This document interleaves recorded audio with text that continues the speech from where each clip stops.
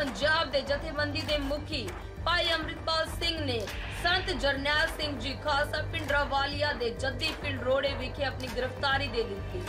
ਅੰਮ੍ਰਿਤਪਾਲ ਦੀ ਗ੍ਰਿਫਤਾਰੀ ਦੇਣ ਤੋਂ ਪਹਿਲਾਂ ਬਣਾਈ ਗਈ ਇੱਕ ਵੀਡੀਓ ਵੀ ਸੋਸ਼ਲ ਮੀਡੀਆ ਤੇ ਕਾਫੀ ਵਾਇਰਲ ਹੋ ਰਹੀ ਹੈ, ਜਿਸ ਵਿੱਚ ਉਹਨਾਂ ਨੇ ਸਿੱਖਾਂ ਅਤੇ ਸੰਤਾਂ ਤੇ ਨੌਜਵਾਨਾਂ ਦੇ ਨਾਂ ਇੱਕ ਸੰਦੇਸ਼ ਜਾਰੀ ਕੀਤਾ।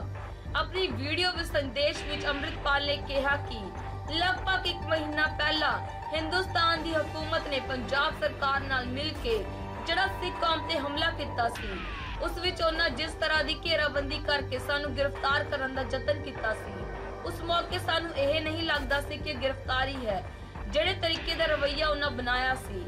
ਕਿਉਂਕਿ ਜੇ ਉਹ ਗ੍ਰਿਫਤਾਰੀ ਕਰਨਾ ਚਾਹੁੰਦੇ ਸੀ ਤਾਂ ਉਹਨਾਂ ਨੂੰ ਘਰੇ ਆ ਕੇ ਕਹਿ ਦਿੰਦੇ ਕਿ ਅਸੀਂ ਗ੍ਰਿਫਤਾਰੀ ਕਰਨੀ ਹੈ, ਅਸੀਂ ਖੁਸ਼ੀ-ਖੁਸ਼ੀ ਆਪਣੀ ਗ੍ਰਿਫਤਾਰੀ ਦੇ ਦਿੰਦੇ। ਪਰ ਜਿਹੜਾ ਤਰੀਕਾ ਉਹਨਾਂ ਅਪਣਾਇਆ ਬਾਅਦ ਇੱਕ ਮਹੀਨਾ ਲੱਗਿਆ ਕਿ? ਪਰ ਹੁਣ ਸਟੇਟ ਦਾ ਚਿਹਰਾ ਸਾਰੀ ਦੁਨੀਆ ਸਾਹਮਣੇ ਨੰਗਾ ਹੋ ਗਿਆ। ਅੰਮ੍ਰਿਤਪਾਲ ਨੇ ਅੱਗੇ ਕਿਹਾ ਕਿ ਇਸ ਕਾਰਵਾਈ ਨਾਲ ਦੁਨੀਆ ਭਰ ਦੇ ਸਿੱਖਾਂ ਦੇ ਦਿਲ ਪਸੀਜ ਗਏ। ਉਹਨਾਂ ਨੇ ਸਿੱਖ ਕੌਮ ਤੇ ਹਮਲੇ ਦੀ ਪੀੜ ਨੂੰ ਮਹਿਸੂਸ ਕੀਤਾ। ਦੁਨੀਆ ਭਰ ਵਿੱਚ ਸਿੱਖਾਂ ਨੇ ਰੋਸ਼ ਮੁਜ਼ਾਹਰੇ ਕੀਤੇ। ਉਹਨਾਂ ਰੋਸ਼ ਮੁਜ਼ਾਹਰਿਆਂ ਵਿੱਚ ਸਿੱਖਾਂ ਨੇ ਦਿਲ ਦੀ ਭਾਵਨਾ ਪ੍ਰਗਟ ਕੀਤੀ। ਸੋ ਇੱਕ ਮਹੀਨੇ ਦੇ ਵਿੱਚ ਅਨੇਕ ਹੀ ਸਿੱਖਾਂ ਦੇ ਉੱਤੇ ਜ਼ੁਲਮ ਕੀਤਾ ਗਿਆ।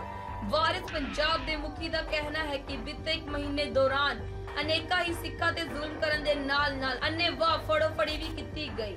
ਜਿਹੜੇ ਸਿੱਖ ਨੌਜਵਾਨ ਸਿੱਖੀ ਦਾ ਦਰਦ ਰੱਖਦੇ ਹਨ, ਸੋਸ਼ਲ ਮੀਡੀਆ ਤੇ ਕੁਝ ਲਿਖਦੇ ਬੋਲਦੇ ਸੀ, ਉਹਨਾਂ ਵੀ ਹਕੂਮਤ ਨੇ ਇਸ ਤਰੀਕੇ ਦਾ ਵਤੀਰਾ ਕੀਤਾ ਕਿ ਚੁੱਕ ਚੁੱਕ ਕੇ ਉਹਨਾਂ ਨੂੰ ਜੇਲ੍ਹਾਂ ਵਿੱਚ ਸੁੱਟਿਆ ਗਿਆ।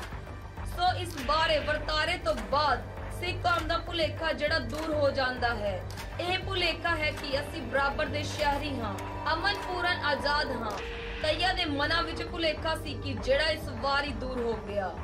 ਇਸ ਦਰਮਿਆਨਾ ਭਾਈ ਅੰਮ੍ਰਿਤਪਾਲ ਸਿੰਘ ਦਾ ਕਹਿਣਾ ਸੀ ਕਿ ਨਾ ਤਾਂ ਉਹਨਾਂ ਨੂੰ ਪਹਿਲਾਂ ਕੋਈ ਗ੍ਰਿਫਤਾਰੀ ਦਾ ਡਰ ਸੀ, ਨਾ ਹੀ ਅੱਜ ਕੋਈ ਡਰ ਹੈ।